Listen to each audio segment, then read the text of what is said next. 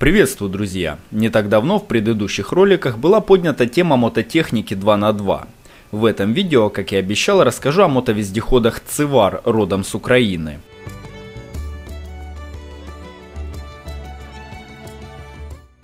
Мотоциклы Цивар это целое семейство разных по назначению, потребительским свойствам и цене мотоциклов, от самых простеньких, складывающихся, до полноприводных гусеничных или на колесах сверхнизкого давления. Появилась данная техника благодаря целеустремленности троих человек – Григория Гуменнова, Бориса Ивасюка и Александра Ивасюка. Проект возник не на голом месте. Григорий Гуменной участвовал в создании полноприводного мотоцикла «Баксан-80», на котором команда редакции журнала «Мото» заехала на Эльбрус. Название Цивар образовано из фамилии общего предка изобретателей, талантливого инженера и механика – Идея родилась в 2003, а первые экземпляры были созданы к 2005. Задумка заключалась в создании не конкретного мотоцикла, а целого семейства.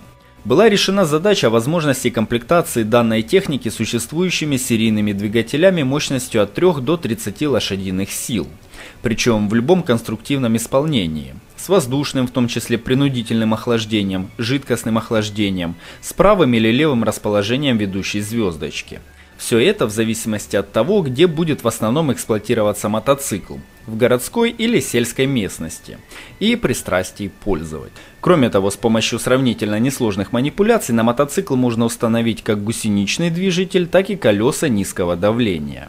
Гусеничный вариант может быть как с передней управляемой лыжей, так и полноприводным, то есть двухгусеничным исполнением. По сути, мужики разработали конструктор, манипулируя деталями которого можно сделать технику под конкретные нужды.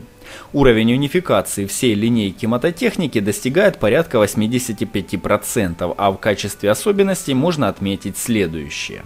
Двигатель крепится на отдельном подрамнике и с основной рамой образует силовой жесткий контур. Натяжение цепи осуществляется с помощью перемещения самого двигателя. Передняя и задняя вилки взаимозаменяемы с консольным креплением колеса. При этом возможны другие конструктивные решения, в частности для установки гусениц или колес сверхнизкого давления.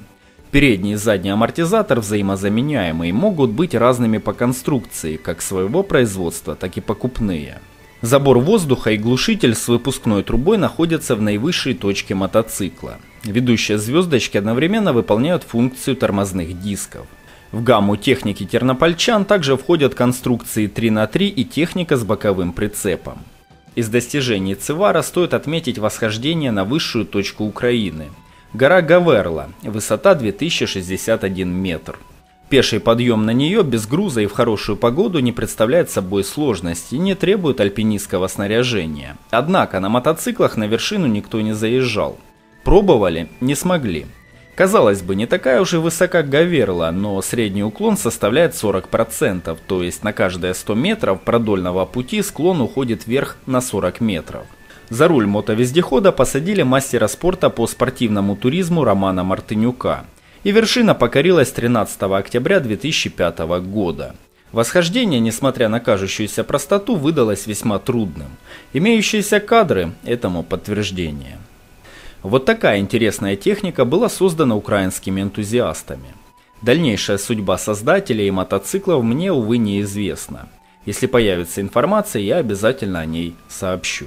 На этом все. С вами был канал Кросмото. В следующих видео затрону и историю Баксана, и восхождение его на Эльбрус. До новых встреч!